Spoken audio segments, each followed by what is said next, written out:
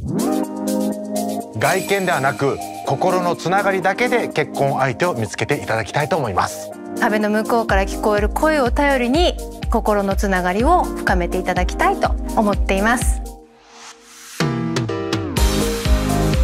これじゃこんにちは。ここは譲れないみたいなのはあったりする？私より身長高い人がいいえー、なんか親近感あるな、また話せたら嬉しい。それだけでめっちゃなんかうわーって。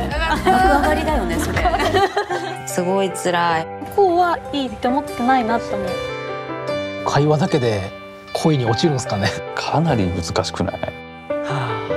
過去とかコンプレックスとか、夜が一番怖いのね。あとは覚悟なんで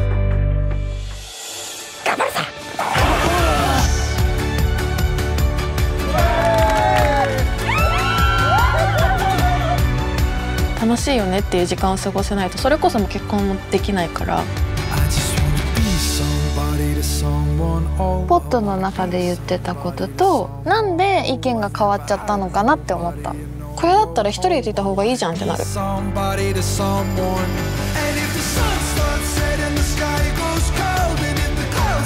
一緒にいて自分が素で入れるとか。10年後も20年後も同じように横で笑ってくれたら。すごい幸せだなって信じたい。